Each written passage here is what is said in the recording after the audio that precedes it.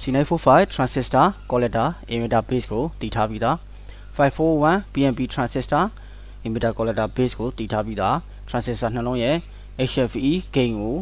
တိုင်းတာပါမယ် HFE gain ဆိုတာသူတို့ရဲ့ချဲနိုင်စွမ်းအားပါ digital meter ကိုအသုံးပြုပြီးတိုင်းတာမယ်ဆိုပါက gain တိုင်းတာရန်အပေါက်ကလေးပါဝင်ပါတယ် PNB အတွက်၄ပေါက် NPN အတွက်၄ပေါက် HFE မှာထားပြီးတိုင်းရမှာဖြစ်ပါတယ် ပေါက်ဖွင့်လိုက်တယ် HFE သင်္ကေတမှာထားပြီးတော့ transistor gain ကိုတိုင်းတာရန်အပေါ် display မှာပြပါမယ် analog meter နဲ့တိုင်းမယ်ဆိုလဲ HFE နေရာမှာထားပေးရပါမယ်ဒီပေါက်ကလေးတွေမှာ NPN PNB အတွက်ခွဲခြားရပါမယ်သူကတော့၃ပေါက်စီပဲရှိတဲ့အတွက်အနည်းငယ်တော့ခွင်ချင်းပါတယ်ဒီမျိုးစားမှာတိုင်းတာရန်မပါဝင်ပါဘူးဒီမျိုးစားမှာလည်းတိုင်းတာရန်မပါဝင်ပါဘူး analog meter နဲ့တိုင်းတာတဲ့အခါ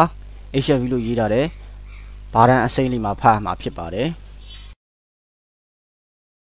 transistor ရဲ့ HFE ကိုတိုင်းတာတော့မယ်ဆိုရင်အပေါက်အနေထားနဲ့ခြေထောက်အနေထားနဲ့တူညီရပါမယ် base ကို base ပေါက်မှာဆော့ရမှာပါ emitter ကို emitter ပေါက်မှာဆော့ရပါမယ်အခုတူညီတဲ့အခါ PNB အပေါက်မှာခြေထောက်တွေကိုဆွတ်လိုက်ပါတယ်မီတာပြနေပါတယ်80လောက်မှာဖတ်ရမှာဖြစ်ပါတယ် HFE gain 80လောက်ကိုပြနေပါတယ် ရပါပြီနောက်တစ်ခုကိုစစ်ဆေးတဲ့အခါခြေထောက်3ကြောင်း emitter collector base ဒီမှာက emitter base collector ဖြစ်နေတဲ့အတွက်တိုင်းတာနိုင်ခြင်းမရှိပါဘူးအပေါက်တွေမတူလို့ပါ digital meter မှာကြတော့၄ပေါက်စီပါဝင်တဲ့အတွက်လွယ်ကူပါတယ်တိုင်းတာ၍မရနိုင်ဘူးဆိုတာမရှိအောင်စီစဉ်ထားပါတယ်အခုကျွန်တော် C945 transistor ရဲ့ခြေထောက်အနေထားတွေကိုမှတ်လိုက်တော့ emitter collector base ပါအပေါက်မှာရှိတာ base collector emitter ဖြစ်နေတဲ့အတွက်ကျွန်တော်ပြောင်းပြန်လှန်ပေးပါမယ်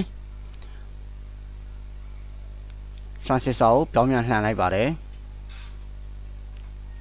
ဒါဆိုမှန်သွားပါပြီအပေါက်ထဲကိုစွတ်ထည့်လိုက်ပါတယ်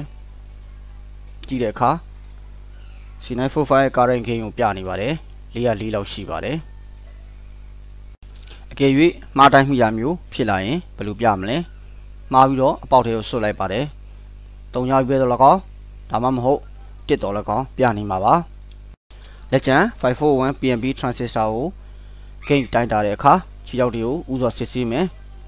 ခြေထောက်တွေကမှန်ကန်ခြင်းရှိတဲ့အခါတိုက်ရိုက်ဆွတ်သွင်းလို့ရပါတယ်